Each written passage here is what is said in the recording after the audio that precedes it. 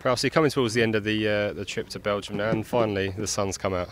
Yeah, it's nice to have the sun out. Obviously, uh, that's the sort of main thing about getting away in pre-season. Obviously, to to play in the heat and uh, and obviously struggle with the heat, and uh, that was the case today. Uh, but we've had all sorts of weather. We've had the rain as well, and uh, it's all uh, put us in good stead for the start of the season. How's the week been in general for you?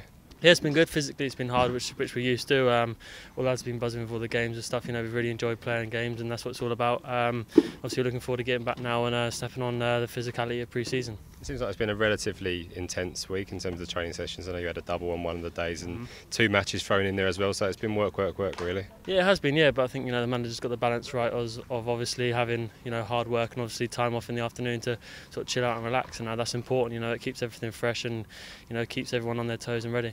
You all got 45 minutes on Tuesday. How did you find uh, your half of the game? Yeah, it was really enjoyable. Obviously, it was good to come off. Obviously, uh, uh, winning 2 0. I think uh, everyone played really well and looked really sharp considering we've, only been back a few weeks. So, uh, yeah, you know, we, we, we obviously finished that game, rested and recovered, and uh, all the lads are buzzing for, for tonight's game. I sensed a little bit of frustration among most people, including the manager, maybe that you didn't stick a few more goals away, but as he said, it was the first game of pre-season. Yeah, so, you know, I think uh, the main thing is obviously we're, we're creating those chances, you know, so early on in, in matches, and obviously, you know, as, as time goes on and we do more shooting drills and stuff like that, obviously our our, our clinicalness in front of goal will improve, and uh, we'll put more more goals away.